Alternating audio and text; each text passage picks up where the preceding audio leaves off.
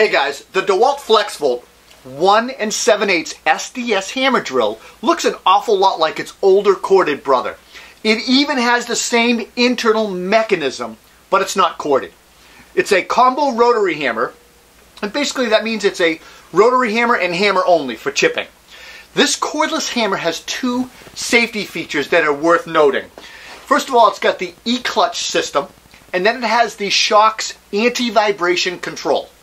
The E-clutch system is basically an overload clutch, kind of like your cordless drill. The E-clutch system senses motion in the tool when the, tool when the tool torques, and it shuts it down if necessary. It's an anti-rotational technology, and it basically protects you from bind-up and stall situations.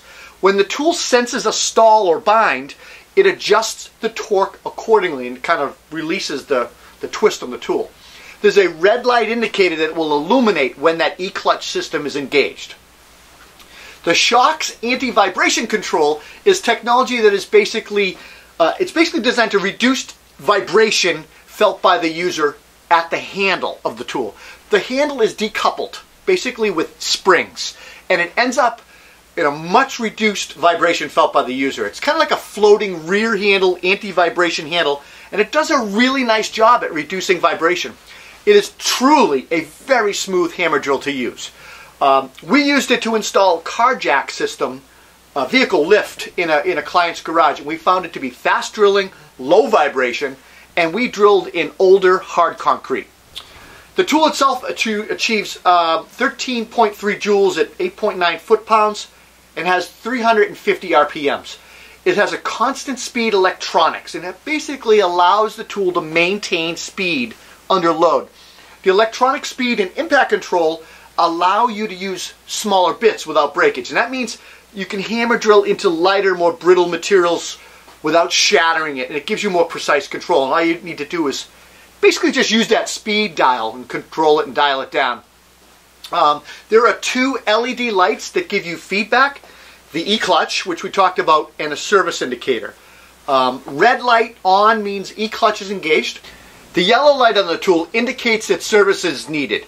To be more specific, the tool will run for 150 hours and then the, the service light flashes yellow indicating that the mechanism needs service. And that service needs to be performed within the next 10 hours of operation time.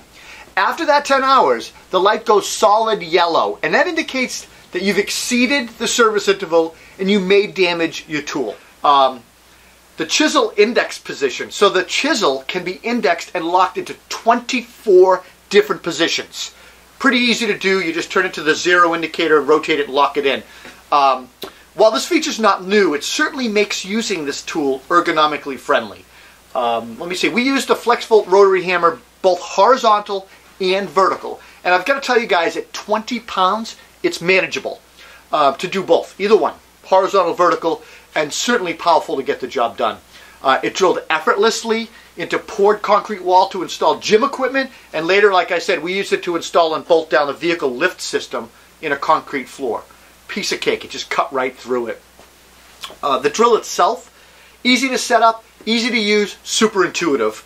It's a perfect use for concrete demo, drilling, light chipping, breaching cinder block, rebar doweling, even trenching.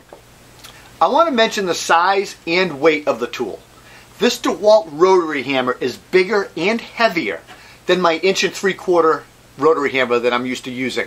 DeWalt's been able to keep the size and the weight down a little bit, but they were able to increase the impact energy 20%, and that's to 13.3 joules. With an increase in power, clearly is going to come an increase in weight and size. So one thing you might notice is that the larger size of the storage box, in, in, in fact it's much larger, and that means it's going to be harder, if not impossible for me anyway, to store in my trailer, on the shelves of my trailer, because they're welded. I, I'm fixed, fixed shelves. You might have the same problem, you might not. Um, you know, obviously the box is bigger, it's got batteries and chargers and things like that, and so it's, it's going to be a larger box. Just be aware of it. Other than that, guys, it's a really nice rotary hammer. Um, as far as cost goes, the FlexVolt hammer is going to sell as a kit with two batteries and a really nice heavy plastic case for $9.99, almost a grand, and as a bare tool at $6.99. Uh, FlexVolt hammer drill overall, guys, my, my thoughts on this is it's an excellent choice for pro contractors, guys that work in concrete, commercial demo for tile, mechanical, electrical, and plumbing trades. It's going to replace my first generation hammer drill, corded hammer drill right over there. I absolutely love this thing. I hope you enjoyed the video. I know it was super short. There's not a whole lot to say about a hammer drill. Uh, please comment and subscribe. We welcome your feedback. And also, don't forget to check us out on Instagram and Facebook, both on Toolbox Buzz and Concord Carpenter. Take care, guys.